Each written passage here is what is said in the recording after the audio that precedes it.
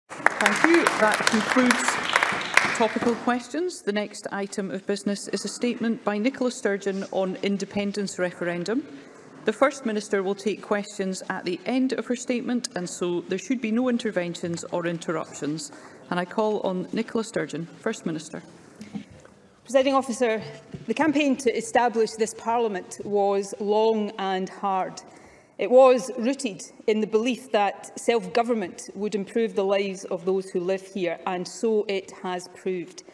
There were and still are honourable differences about the ultimate destination of Scotland's self-government journey. But all who campaigned to establish this place were united in and by this fundamental principle. The democratic rights of the people of Scotland are paramount. That principle of self-determination was encapsulated by these words in the Scottish Constitutional Convention's claim of right.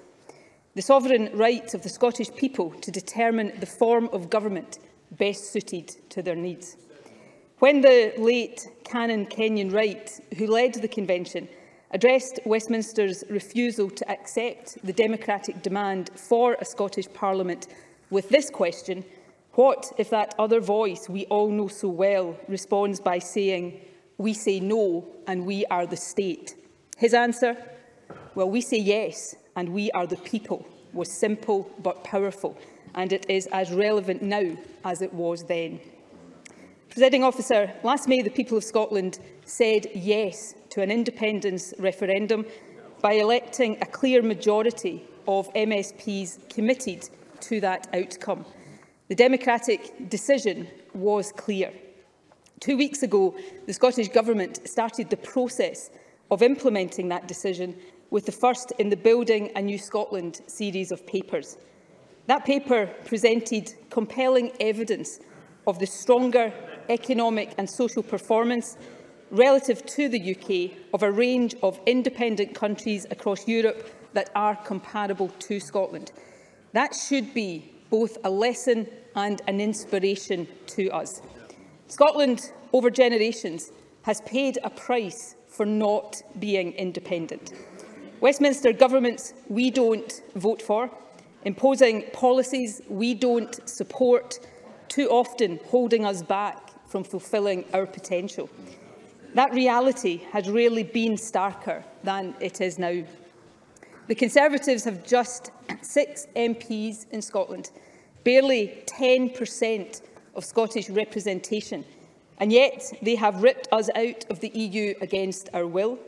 They have created the worst cost of living crisis in the G7 and saddled us with the second lowest growth in the G20.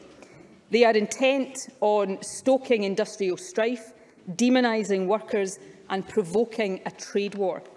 Businesses and public services are struggling for staff because freedom of movement has been ended. Our young people have been robbed of opportunity. Presiding officer, the Scottish Government will do everything in our power to mitigate the damage. But that is not enough. Our country deserves better. And yet this Parliament, looked to for leadership by so many across Scotland, does not have the power to tackle the root causes of the financial misery being inflicted on millions. We lack the full range of levers to shape our economy and grow our country's wealth. We are powerless to stop our budget being cut. We can't block the Tories' new anti-trade union laws or stop them tearing up human rights protections. We're not able to restore freedom of movement. And while we invest billions, billions in measures to help with the cost of living, tens of thousands of children can be pushed deeper into poverty at the merest stroke of the Chancellor's pen. Presiding officer, it does not have to be this way. Independence is about equipping ourselves to navigate the future guided by our own values, aspirations and interests. It is about helping us fulfil our potential here at home and play our part in building a better world. And that does take more than a changing of the guard at Westminster. I fervently hope that the Tories lose the next election. They thoroughly deserve to. But on the big policy issues of our time, from Europe to migration to human rights and fairness for workers, Labour is more a pale imitation than a genuine alternative. Labour won't take Scotland back into the European Union or even the single market, and neither will the Liberal Democrats. They won't restore freedom of movement for our young people. They won't prioritise tackling child poverty over investment in nuclear weapons. Presiding officer, First Minister, First Minister, sorry, could I just have a moment? I have asked that there are no interruptions during the First Minister's statement. I would be grateful if we could have some silence. Thank you. First Presiding Minister. officer, Independent won't always be easy. It isn't for any country. But independence will give us the opportunity to chart our own course, to build a wealthier, greener, fairer nation, to be outward-looking and internationalist, to lift our eyes and learn from the best. Presiding officer, now is the time, at this critical moment in history, to debate and decide the future of our country. Now is the time to get Scotland on the right path, the path chosen by those who live here. Now is the time for independence. Presiding officer, this Parliament has a clear democratic mandate to offer Scotland that choice. The UK Government, regrettably, however, is refusing to respect Scottish democracy. That is why today's statement is necessary. The UK and Scottish governments should be sitting down together, responsibly agreeing a process, including a Section 30 order, that allows the Scottish people to decide. That would be the democratic way to proceed. It would be based on precedent, and it would put the legal basis of a referendum beyond any doubt. That's why I am writing to the Prime Minister today to inform him of the content of this statement And in that letter, I will also make clear that I am ready and willing to negotiate the terms of a Section 30 order with him. Presiding officer, what I am not willing to do, what I will never do,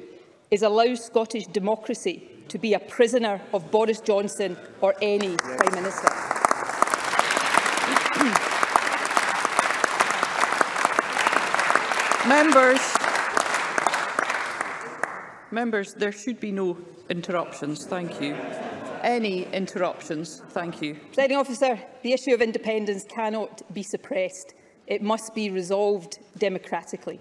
And that must be through a process that is above reproach and commands confidence. That is why I am setting out today the actions the Scottish Government and the Lord Advocate will take in the absence of a Section 30 order to secure Scotland's right to choose. My determination is to secure a process that allows the people of Scotland, whether yes, no or yet to be decided, to express their views in a legal constitutional referendum so that the majority view can be established fairly and democratic. The steps I am setting out today seek to achieve that. They are grounded in and demonstrate this government's respect for the principles of rule of law and democracy. Indeed, these core principles, respect for the rule of law and respect for democracy, underpin everything I say today. Respect for the rule of law means that a referendum must be lawful. That, for me, is a matter of principle. But it is also a matter of practical reality An unlawful referendum would not be deliverable. Even if it was, it would lack effect. The outcome would not be recognised by the international community. Bluntly, it would not lead to Scotland becoming independent. Presiding officer, it is axiomatic that a referendum must be lawful. But my deliberations in recent times have led me to this further conclusion. The lawfulness or otherwise of the referendum must be established as a matter of fact, not just opinion. Otherwise, as we have seen again in recent days, opposition parties will just keep casting doubt on the legitimacy of the process so that they can avoid the substantive debate on independence which Scotland deserves but they so clearly fear. That is not in the country's best interests. Let me turn then to the detail of the steps we will now take to secure that objective of an indisputably lawful referendum. And then ensure that from today we can focus on the substance of why Scotland should be independent. Presiding officer, I can announce first of all that the Scottish Government is today publishing the Scottish Independence Referendum Bill. I will draw attention in particular to three key provisions of this bill. Firstly, the purpose of the referendum, as set out in Section 1, is to ascertain the views of the people of Scotland on whether or not Scotland should be an independent country. In common with the 2014 referendum, indeed in common with the Brexit referendum and the referendum to establish this Parliament, the independence referendum proposed in the bill will be consultative, not self-executing, just as in 2014 and recognised explicitly in the 2013 White Paper, a majority yes vote in this referendum will not in and of itself make Scotland independent. For Scotland to become independent following a yes vote, legislation would have to be passed by the UK and Scottish Parliaments. Now, there has been much commentary in recent days to the effect that a consultative referendum would not have the same status as the vote in 2014. That is simply wrong factually and legally. Let me be clear. The status of the referendum proposed in this bill is exactly the same as the referendums of 1997, 2014 and 2016. The next provision of the bill I wish to draw attention to relates to the question to be asked in the referendum. The bill states that the question on the ballot paper should be, just as it was in 2014, should Scotland be an independent country. Finally, presiding officer, the bill includes the proposed date on which the referendum should be held. In line with the government's clear mandate, this is a date within the first half of this term of parliament. Presiding officer, I can announce that the Scottish Government is proposing that the independence referendum be held on the 19th of October 2023. These are... Thank you.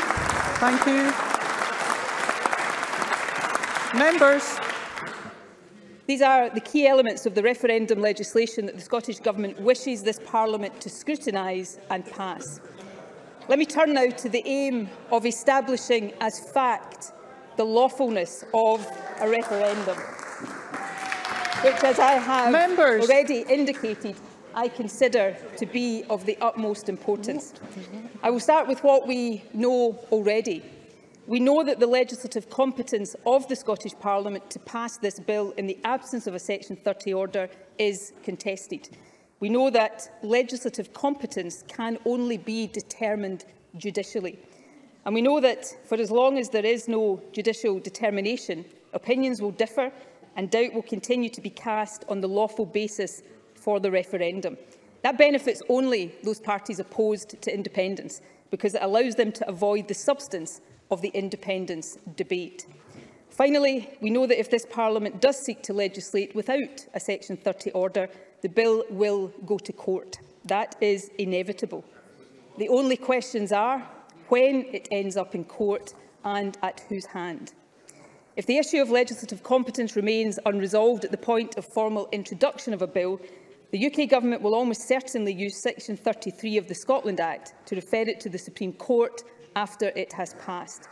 It is also possible that one or more private individuals will lodge a judicial review of the bill. Indeed, it was reported last week that Tory supporters are already planning to do so.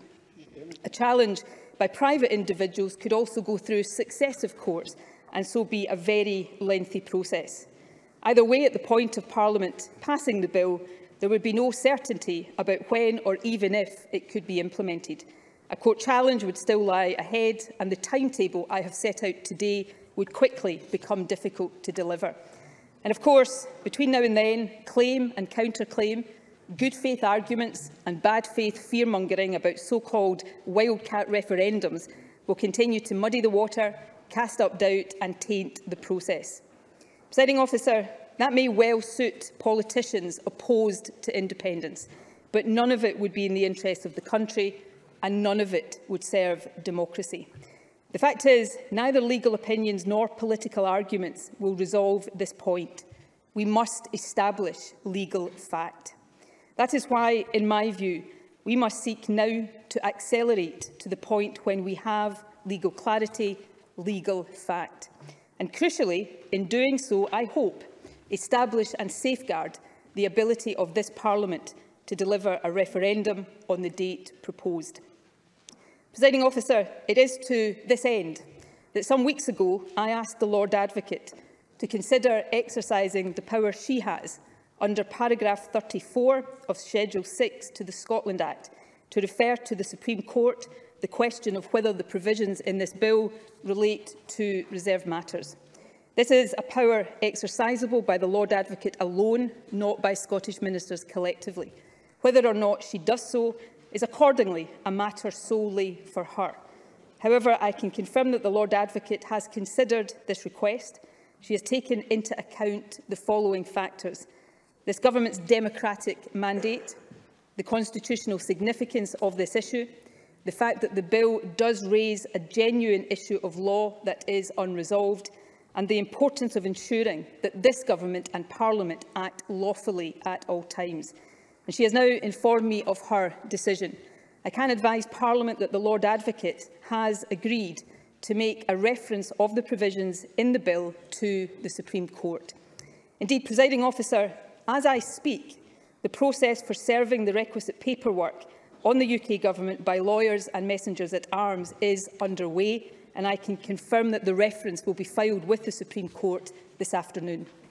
Presiding officer, whether or not the reference is accepted, how long it takes to determine and what judgment is arrived at are of course all matters for the court to determine. I accept that. As I have made clear throughout, this government respects the rule of law. However, by asking the Lord Advocate to refer the matter to the court now, rather than wait for others to do so later, We are seeking to deliver clarity and legal certainty in a timely manner and without the delay and continued doubt that others would prefer. Presiding officer, obviously it is this government's hope that the question in this bill, proposing a referendum that is consultative, not self-executing, and which would seek to ascertain the views of the Scottish people for or against independence, will be deemed to be within the legislative competence of this Parliament. If that outcome is secured, there will be no doubt whatsoever that the referendum is lawful. And I can confirm that the Government will then immediately introduce the bill and ask Parliament to pass it on a timescale that allows the referendum to proceed on the 19th of October next year. It is, of course, possible that the Supreme Court will decide that the Scottish Parliament does not have power to legislate even for a consultative referendum. To be clear, If that happens, it will be the fault of Westminster legislation, not the court. Members. Obviously, that would not be the clarity we hope for. But if that is what the law establishing this Parliament really means, it is better to have that clarity sooner rather than later. Because what it will clarify, presiding officer, is this. Any notion of the UK as a voluntary union of nations is a fiction. Any suggestion that the UK is a partnership of equals is false. Instead, we will be confronted with this reality. No matter how Scotland votes, regardless of what future we desire for our country, Westminster can block and overrule. Westminster will always have the final say. Presenting officer, there would be few stronger or more powerful arguments for independence than that. And it would not be the end of the matter, far from it.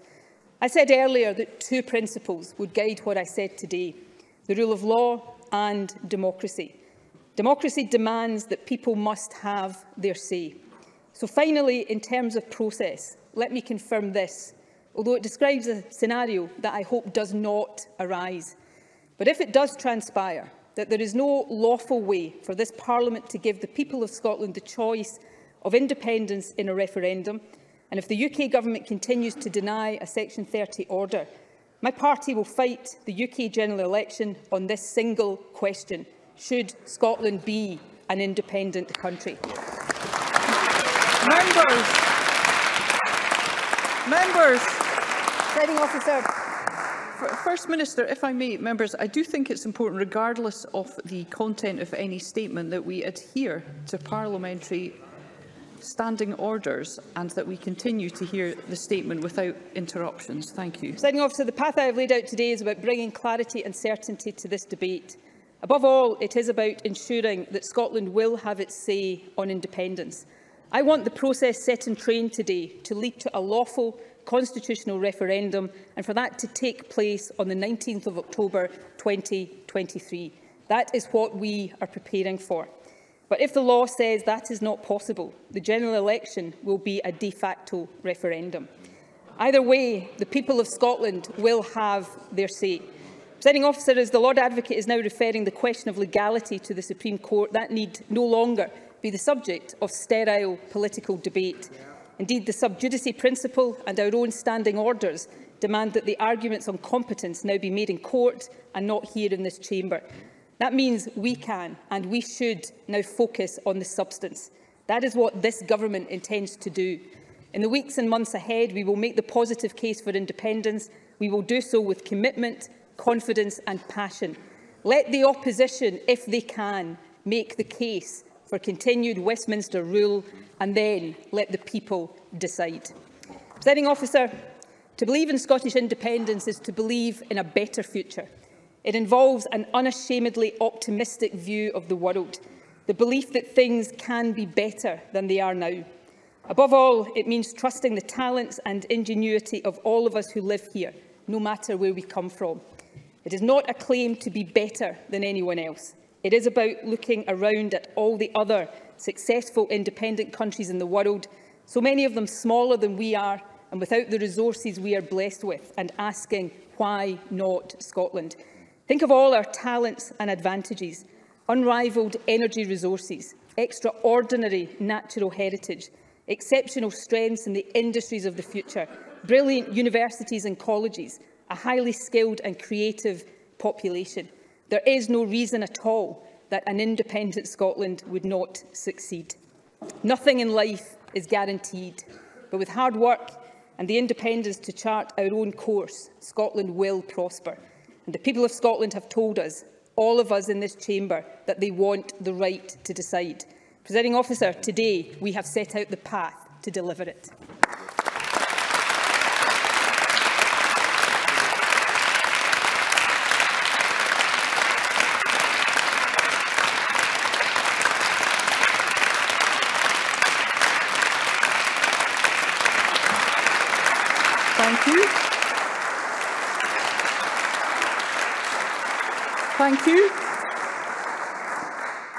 First Minister will now take questions on the issues raised in her statement. I intend to allow around 40 minutes for questions, after which we'll move on to the next item of business. And I'd be grateful if members who wish to ask a question were to press their request to speak buttons now. And I call on Douglas Ross. Uh, thank you very much, Presiding Officer. I wonder if that SNP applause was to make up for the people in the public gallery actually walking out yeah. as the First Minister yeah. was speaking. Because Nicola Sturgeon because Nicola Sturgeon is at it all over again. Yeah. Her eye is off the ball once more. The real priorities of people across Scotland are on the back burner. Instead, the First Minister is putting her plans to divide Scotland front and centre. Nicola Sturgeon has shown again today that the SNP's selfish obsession with another divisive referendum is always their top priority. She will use government time and resources to further her plan to break up the country just when we need to be pulling together and working yeah. as one. Yeah. All of our focus should be on tackling these huge challenges we face right now, helping families with their bills, supporting frontline services and creating good jobs. Yeah a potentially illegal referendum next year is the wrong priority for Scotland. Members, we will hear Mr Ross. Thank you. Well, SNP members uh, are unhappy about that. It is being referred to the court because the legality of it is not known. Therefore, it is a potentially illegal referendum and it would distract away from our recovery. It will damage our efforts to rebuild the country after COVID. It is also the last thing a clear majority of Scottish people want. The First Minister speaks of fear. The First Minister speaks of fear. But what concerns all of us is the price Scotland pays for her continued obsession yeah. with another referendum. Yeah. So we won't play Nicola Sturgeon's games. We won't take part in a pretend poll when there is real work to be done. Yeah, real work on the global cost of living crisis. Real work to invest in public services. Real work to rebuild our economy. Those are our priorities. And they're the real priorities of people across Scotland as well. But instead of focusing on the right priorities, Nicola Sturgeon is railroading this Parliament into talking about the SNP's obsession. On the First Minister's watch, this is becoming a do-nothing Parliament. Yeah. Nicola Sturgeon has confirmed today that she will introduce a bill for another independence referendum. But what is she doing about the country's top priorities? Yeah. Nothing. Yeah. Education, no bills. Yeah. Drugs, no ideas. Ferries, none that float. That is Nicola Sturgeon Scotland, and this Parliament is beginning to be a Parliament that doesn't get to act on the people's real priorities. A Parliament that only exists to further the SNP's interests. A do-nothing Parliament with a First Minister obsessed with another referendum at all costs. So can I ask the First Minister, why should the people of Scotland's real priorities be put on the back burner for another divisive, damaging independence referendum? First Minister. Well, I think at the last count, Douglas Ross had three jobs. He may be a do-nothing MSP, but this is certainly uh, a do-much uh, Parliament. He, Douglas Ross has also demonstrated... Members, thank you. an apparent inability to actually listen to what was said in the statement. Uh, I know that the legality uh, of a referendum passed by this Parliament without a Section 30 order is contested. That is why I have asked the Lord Advocate to refer the matter to the Supreme Court so that that can be put beyond any doubt. Uh, a referendum that goes ahead will be indisputably uh, legal because the Supreme Court will have deemed it so. Um, and at that stage, any claims eh, about boycotts will sound even sillier eh, than they do now and demonstrate one thing and one thing only. Eh, the Conservatives have no confidence in the arguments for the continuation of the union. Uh, now, we have this strange uh, conundrum, don't we, uh, in Scotland, where the Tories suggest uh, that nobody in Scotland uh, wants the opportunity uh, to choose independence in a referendum. And yet they have somehow managed to elect a majority of MSPs in this Parliament who propose an independence referendum. Douglas Ross also says that a clear majority don't want independence. Can I gently suggest to him If he was confident in that, yeah. uh, he would be desperate to put the question to the people of Scotland in a referendum.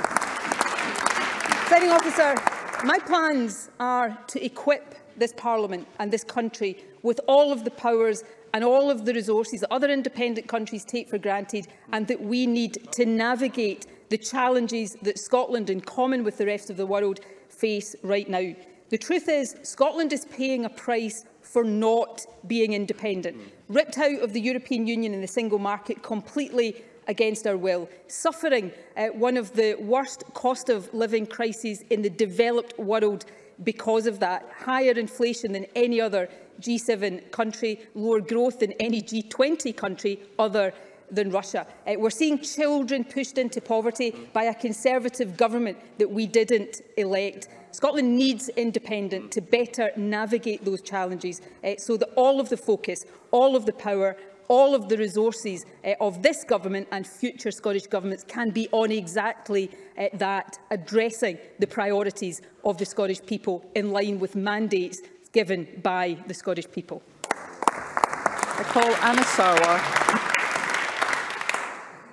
officer, It's important to establish the legal basis of a referendum. But it's also important to consider the timing, the context and the effect. Eh, and I think the First Minister gave the game away in the latter part of her statement. Eh, this is actually all about the general election and the SNP having some relevance in it than actually about the Scottish people. But it's important to recognise the context of the election campaign last year. Eh, we were still a country living under COVID restrictions. Over 10,000 of our fellow citizens had lost their lives. Nicola Sturgeon said during that campaign that people who didn't support a referendum or independence through the recovery should vote for her, safe in the knowledge that COVID recovery would be her priority. COVID hasn't gone away and our recovery hasn't even started. Since that election and when Nicola Sturgeon gave that pledge, 4,000 more Scots have lost their lives. 43 in the last week have died due to COVID. There are over 700,000 Scots on NHS waiting lists, over 10,000 children and young people waiting for a mental health appointment, almost 20,000 fewer businesses in Scotland today than when the pandemic began. And this week, the ONS warned that inflation could reach 11%, meaning higher bills and the deepening the cost of living crisis. For households across the country, it doesn't feel like the crisis is over. Isn't it the case that the pandemic Nicola that said she wanted to pull us through is gone and the partisan Nicola Sturgeon that wants to divide our country is back pursuing a referendum that two-thirds of Scots don't want right now.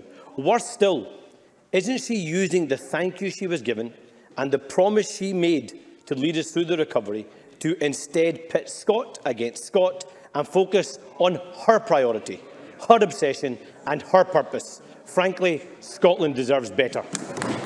First Minister. Demo democracy. Democracy is not pitting anyone against anyone. Democracy is allowing the people of the country, all of the people of the country, to choose. That is not just the right way to resolve differences of opinion on the Constitution. That is the only way to resolve these differences of opinion. Um, it doesn't surprise me uh, to hear the Conservatives say differently. It does still surprise me to hear Labour set its face so firmly against that fundamental concept of democracy. Anna Sarwar said it's all about the context and the timing of a referendum. He may have more credibility in saying that if his position wasn't exactly the same as the Tories, which is that Scotland should never get the right to choose independence in a referendum. Uh, and let me say, the First Minister Standing here uh, is the First Minister who does and who always has believed that the right thing for Scotland,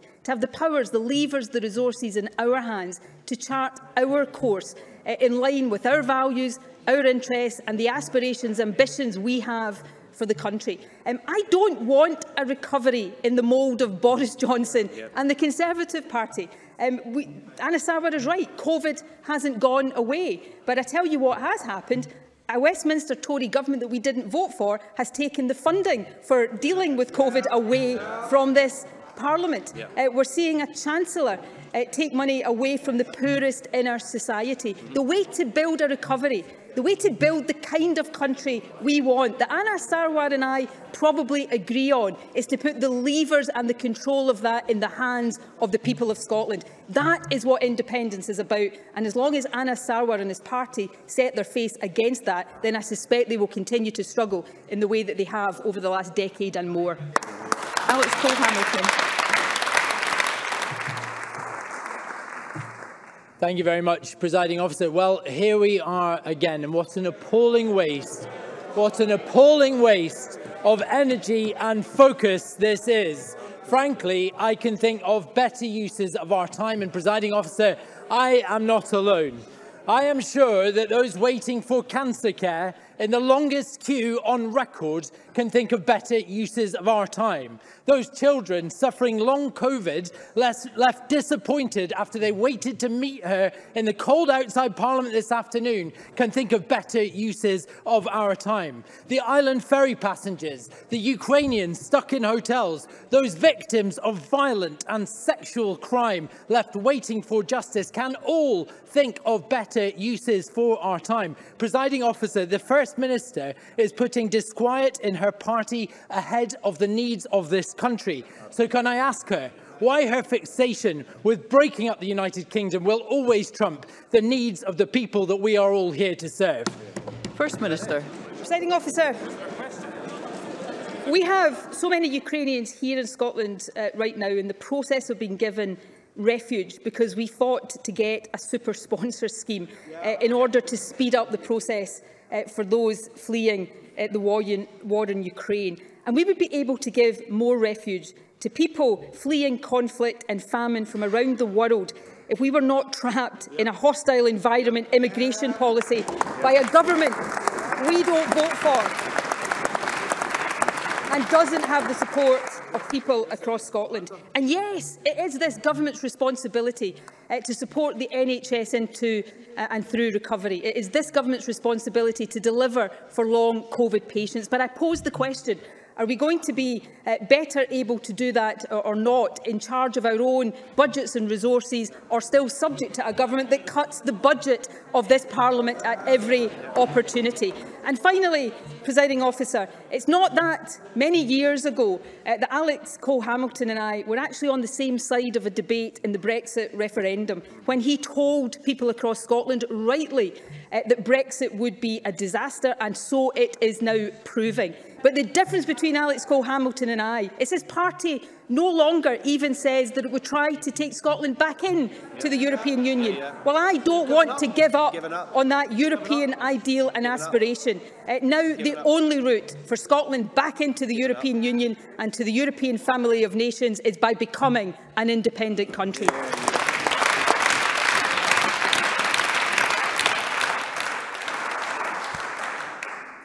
Before I go on to the next question, members will wish to be aware that I have 20 members wishing to ask a question in a 20-minute period. Um, I will certainly do my best to, to, to get through as many questions as possible But members, um, we are going to have, a, a, have to focus on more concise questions and responses. And I call Graham Day to be followed by Donald Cameron. Uh, thank you, President Officer. Following the 2014 referendum, opposition parties promised through the Smith Commission that there was nothing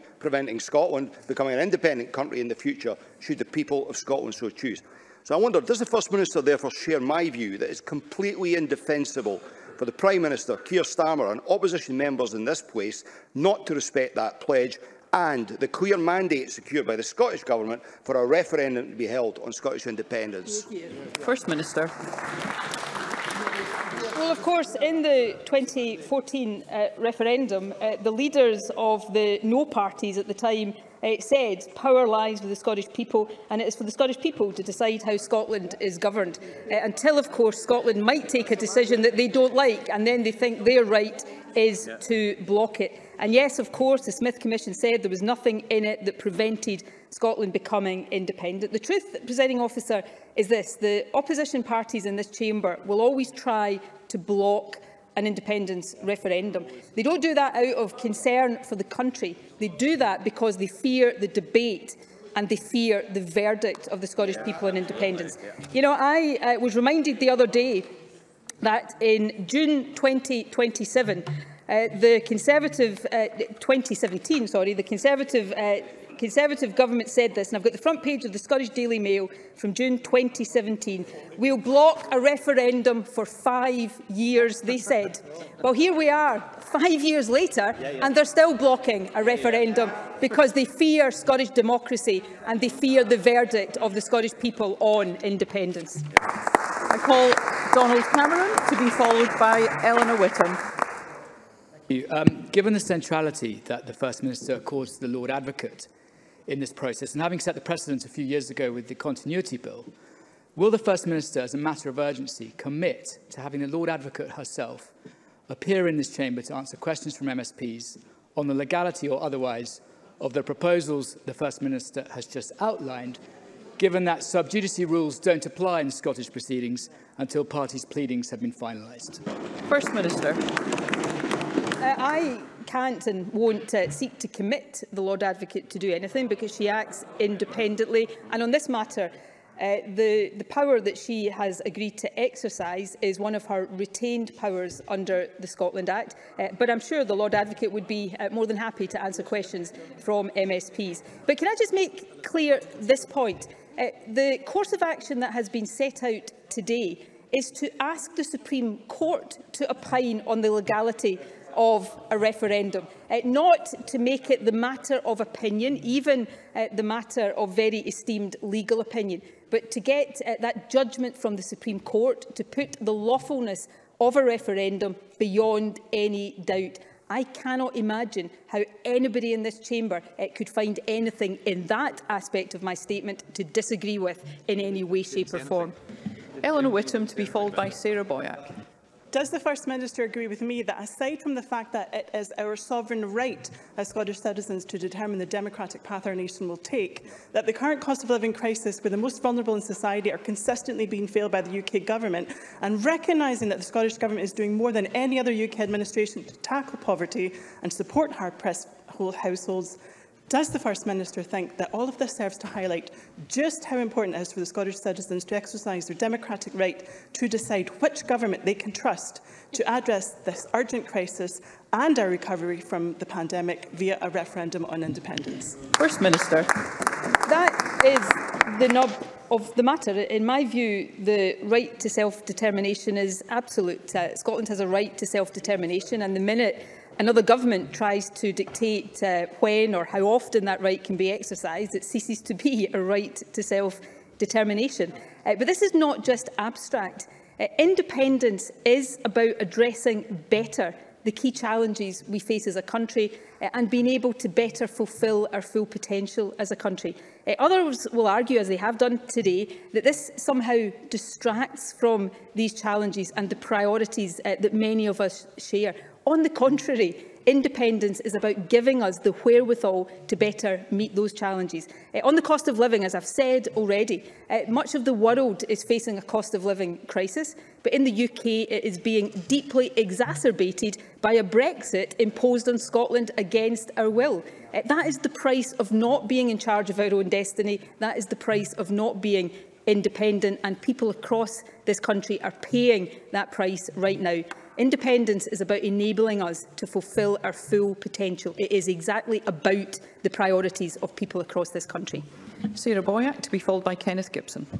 First Minister, even SNP voters don't want a referendum on your timescale.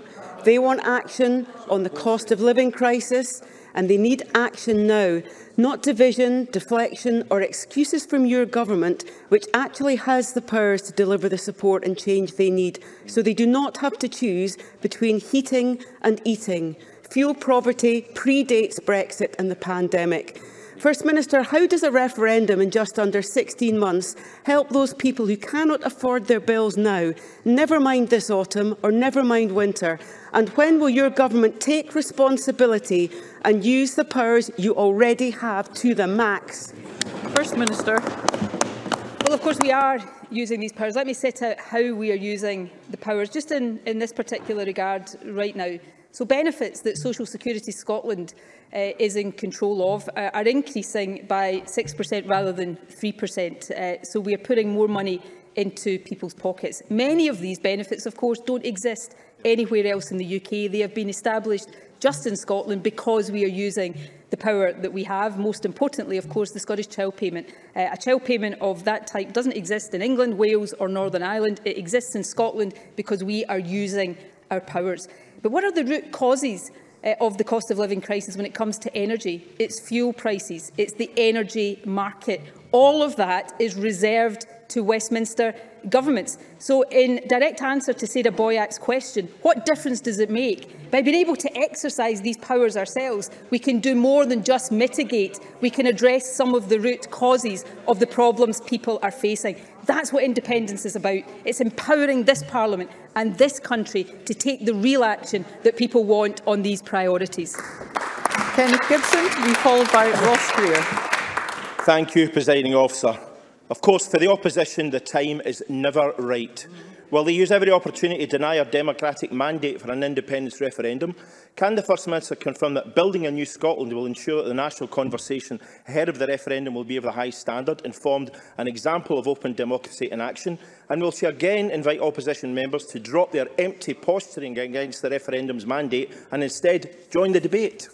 First Minister. Absolutely. Um, the Building a New Scotland series of papers will continue. It will set out uh, the positive case for independence. It will take on and answer uh, the tougher questions and challenges uh, that people want to see answered. It will all be about the substance of uh, the choice that we are asking people to make. It's perfectly legitimate in this chamber, in the democracy we live in, that people have different views and that people will want to make uh, the opposite case. And therefore, my challenge to the opposition, uh, the issues of process will now be determined, I hope, uh, through the Supreme Court. Let's have the debate on substance. Uh, I and my colleagues will make the case for independence. Uh, why don't they come and make the substantive case for Scotland continuing to be part of the Union? I suspect I know the answer to that question presiding officer, but let's have that debate on substance and then let's do the democratic thing. Let the people decide. Ross Greer to be followed by Michelle Thompson. Thank you. This statement proves beyond doubt the Scottish Government is committed to deliver on its democratic mandate and give the people of Scotland the opportunity to build a fairer, greener, independent nation. The very same Conservative Party who have been rejected here time and again are now trying to stop that democratic exercise aided by a Labour Party which seems equally intent on obstructing Scottish democracy. Does the First Minister agree that pro-independence parties winning more seats and more votes than our opponents is the gold standard of democratic mandates for putting Scotland's future in Scotland's hands through a referendum on our independence? First Minister. Well, the mandate for an independence referendum, Roscoe is absolutely right to point this out, that exists in this Parliament is stronger than any mandate uh, for Brexit that ever existed in the UK uh, Parliament.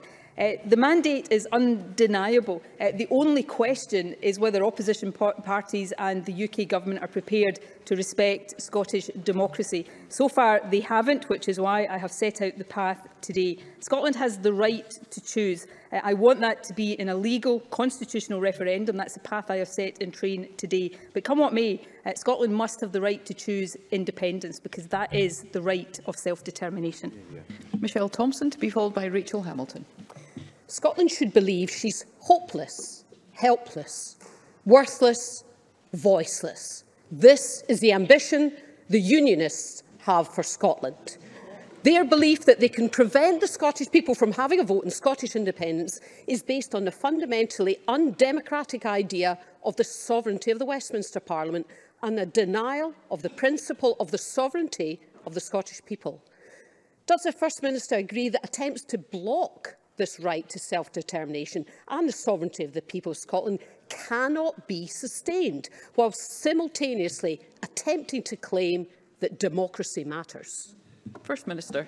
I, I absolutely agree with that and it won't be sustained. Um, the UK is either what we have always been told it is, uh, which is a, a voluntary uh, union of equals, uh, or it is not. It, Uh, is a structure uh, where Scotland has no legal democratic uh, right to decide a different path from. that cannot be sustainable. Um, this is about the right to self-determination, but more than that, it's uh, about the willingness of politicians who disagree legitimately uh, to let the people decide and to respect uh, that democratic process and that democratic outcome. Um, I heard uh, some unionist politician, I can't remember uh, which one, they all begin to, to sound the same after a, a little while, um, in recent days uh, say that the thing is they'd, they'd worked it out that I, I didn't really uh, I didn't really want uh, a referendum and I didn't think uh, that we would win one if we got one. Well, do you know what? I suspect if any of the unionist parties actually thought either of those things were the case, they'd be rushing to call my bluff. So there's an invitation today yeah, yeah. to all of them, presiding officer. Come on, call my bluff. I call Rachel Hamilton to be followed by Jim Fairley. Thank you, Presiding Officer. General Sir Patrick Sanders, in his address to the Royal United Services Institute think tank, says his singular focus is mobilising the British Army to help prevent the spread of war in Europe by being ready to fight and win alongside our NATO allies and partners. Presiding Officer, these are serious times. Putin continues to invade Ukraine. We have a cost of living crisis due to a global inflation and public services are trying to recover from the pandemic. Now has been the time every year for you, First Minister. But why is it that your constitutional obsession is more important than global peace, security and recovery? First Minister, that is utterly shameful and I think people across the country will see it as that uh, all of us stand uh, united behind uh, the people of Ukraine yeah, yeah. Um, and none of us should seek to use their plight and the yeah, horror yeah, yeah. they are living through for our own political ends. Uh, but I tell you this, presiding officer, we do live in very, very serious times, which is why I want to see uh, Scotland and independent Scotland being truly internationalist, rejoining the European family of nations and playing our full part, albeit as a relatively small country, in trying to build a better world for today and for future generations. Uh, and I don't think, uh, I really don't believe that the response to what is happening across Europe right now Eh, and the gravity of that moment is in our own country to try to block democracy. Quite the reverse is the way to respond to yeah, that. Yeah, yeah. Jim Fairley to be followed by Pauline McNeill. Thank you very much, President Officer. Can I first of all congratulate the First Minister and the Cabinet for delivering the voice of the people first, because Westminster is clearly intent on destroying the idea of the UK as a voluntary partnership of nations. A Tory UK government with only six MPs from Scotland supporting this issue by Labour is uh, seeking to deny the democratic right of the people of Scotland to choose their own future. So the First Minister share my concern and indeed anger that there's total disdain for the democratic will of the people of Scotland. And why are they so afraid of respecting the right of the people of Scotland to choose their own future? First Minister.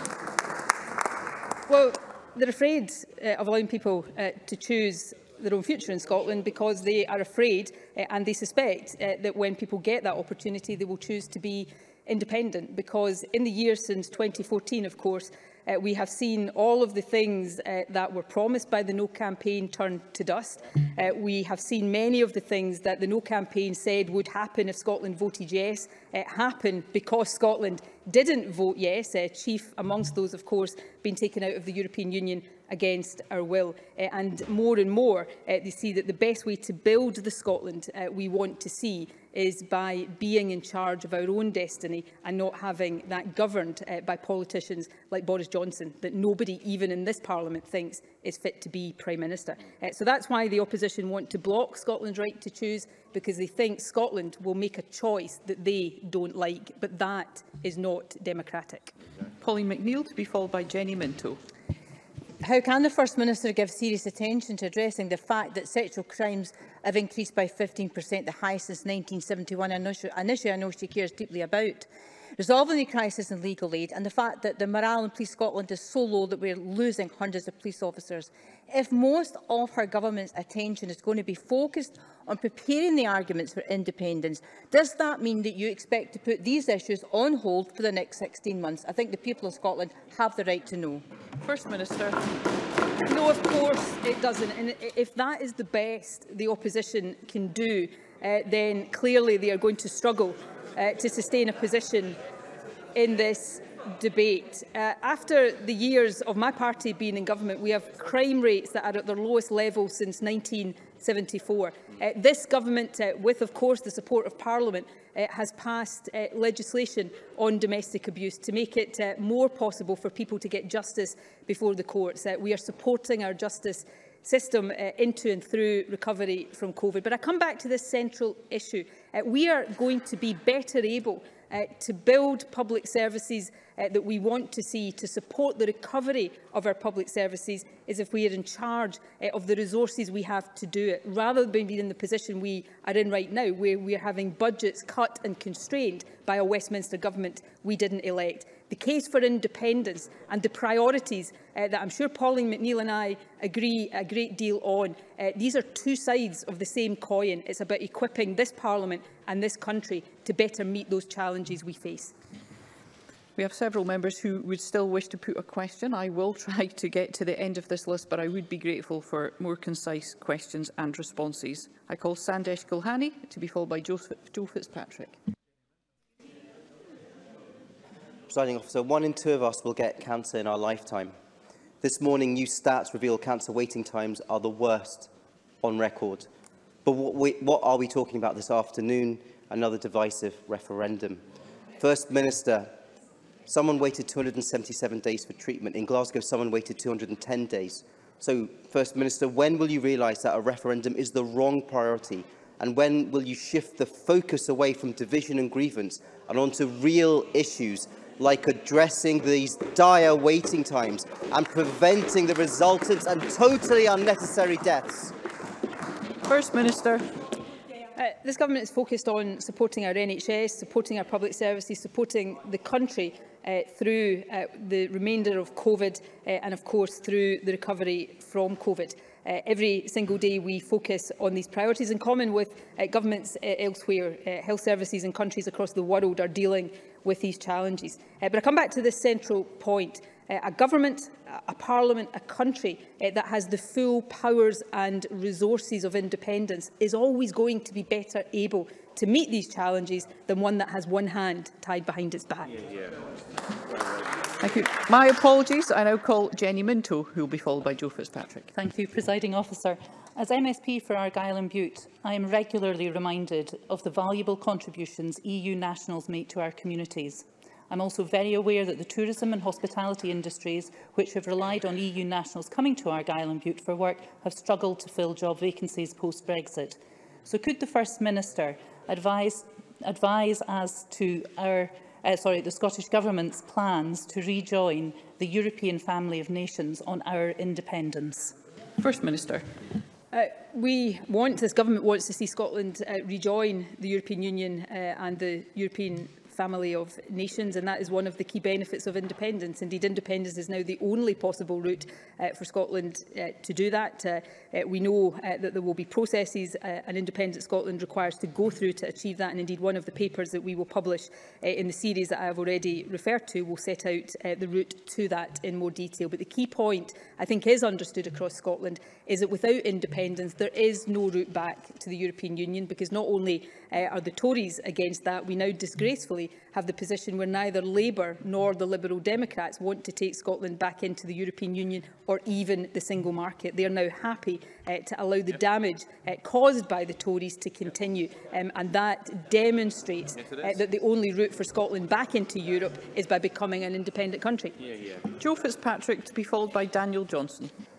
officer, the First Minister has already mentioned the Scottish Child Payment, which is being delivered by Social Security Scotland from its headquarters in the Yes City of Dundee. Can the First Minister say more about how the powers of independence would enable this Parliament to go much further to deliver a fairer, more equal society, improving people's lives like we see in so many compatible countries in Europe and beyond? First Minister. Well, I think that is one of the biggest arguments for independence, is being in charge of our own resources uh, so that we can dedicate uh, all of our efforts uh, to tackling poverty and in particular lifting children out of poverty. Uh, and we can illustrate that, uh, the fact that we have only partial power over social security, we can illustrate how that does hold us back. So this Parliament, using its limited devolved powers, has established the Scottish Child Payment and of course now decided to double and then extend it uh, further. That is lifting thousands upon thousands of children out of poverty But at the stroke of the Chancellor's pen, £20 a week was taken away from families on universal credit, pushing children back into poverty. We need all of the powers of a social security system to make sure that everything we do is lifting children out of poverty, rather than the situation we have now uh, that everything we do is undermined by a government pulling in the wrong direction. Daniel Johnson to be followed by Siobhan Brown. Uh, could the First Minister clarify a point of process lying behind this statement? Did the Lord Advocate refuse to certify the referendum bill as being legally competent? And is that why the Lord Advocate is taking it to court rather than being brought before Parliament today? First Minister. Uh, I'm not going to breach the ministerial code by getting into legal advice. Uh, but what I've set out today, and I I think members should listen to this point because uh, this point is really important. Um, I asked the Lord Advocate to consider exercising the power she has under Schedule 6 of the Scotland Act to refer this matter to the Supreme Court. And the reason I did that is that I know that the power of this Parliament is contested and uh, if the Ministerial Code was otherwise, even if I was to bring forward and publish a dozen legal opinions on competence, the opposition would say, ah, but that's only an opinion, uh, the referendum's going to be illegal, and they would undermine the process. So I think it is better to ask the Supreme Court uh, for its judgment on the lawful basis of the referendum. And then nobody can gainsay that because it is no longer a matter of opinion, it is a matter of legal fact. Siobhan Brown to be followed by Oliver Mundell. Thank you, Presiding Officer. As MSPs, we are all acutely aware that Scotland currently faces a workforce crisis throughout every industry and sector. With an ageing population, it is impossible for us to magic up people to fill all these roles. Does the First Minister agree with me that only is Scotland becoming independent with normal powers such as immigration, employment law, energy and borrowing powers, just to name a few, that we can start to recover from the COVID crisis and also really start to address the cost of living crisis? Yeah. First Minister. Again, if uh, you speak, as I do uh, regularly, to individuals, uh, to people in public services, to businesses, across the country, uh, one common theme will emerge, and that is a shortage of labour, making it more difficult uh, to tackle the backlog in our National Health Service, uh, making it more difficult for businesses to recover. And that has been caused and exacerbated by the ending of freedom of movement, uh, which has come from us being taken out of Europe against our will. And it comes from a highly restrictive and, in many cases, deeply inhumane immigration policy. Uh, Scotland needs to be able to determine uh, our population and we need to be able to determine who can come to the country so that we can grow that population because that is in the interest of our economy and our public services and society more generally. And the only way to do that is becoming independent with the powers uh, that independence brings in that regard. Another key argument for taking these powers out of the hands of Westminster and putting them into the hands of this Parliament. Oliver Mundell to be followed by Christine Graham. Thank you, Presiding Officer. Did Westminster have the final say on the 18th of September 2014.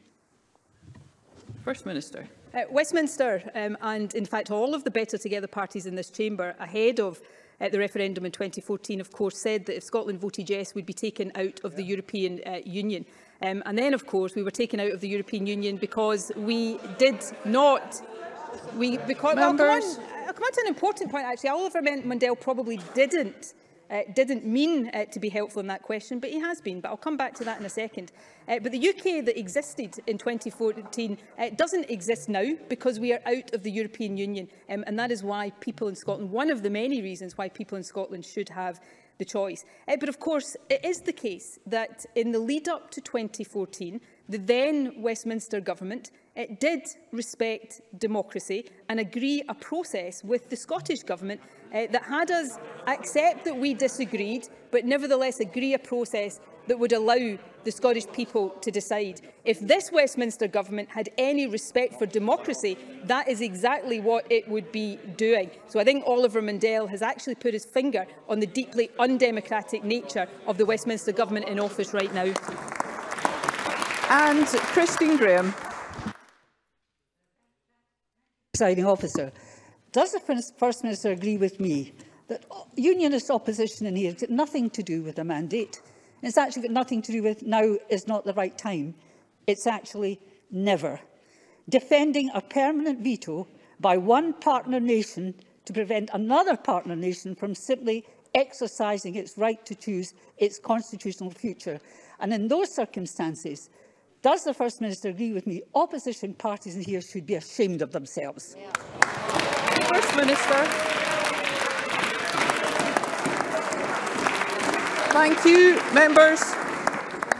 Um, on so many matters, uh, presiding officer, I agree uh, with that. But on this matter, yes, you know, it is entirely legitimate uh, for us to disagree on the merits and the substance of independence. That's the stuff of democracy. What it is never acceptable to do is to try to block democracy because you fear the outcome of the democratic choice people will make. That's what the Conservatives are doing. Uh, shamefully, it's what Labour and the rather misnamed Liberal Democrats are doing. But the right of people of Scotland to self-determination is there and it will be exercised. Thank you. That concludes point of order, Jackie Bailey. Thank you, Presiding Officer. It is clear to me that the Lord Advocate has been unable to sign the referendum bill, which is why it hasn't been introduced to Parliament.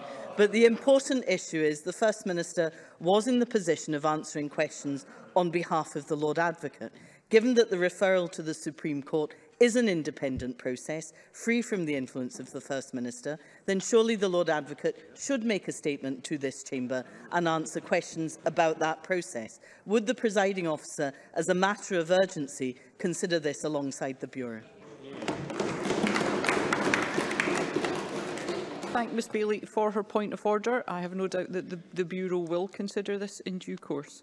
Thank you. There will be a brief pause before we move on to the next item of business, which is stage three timetable.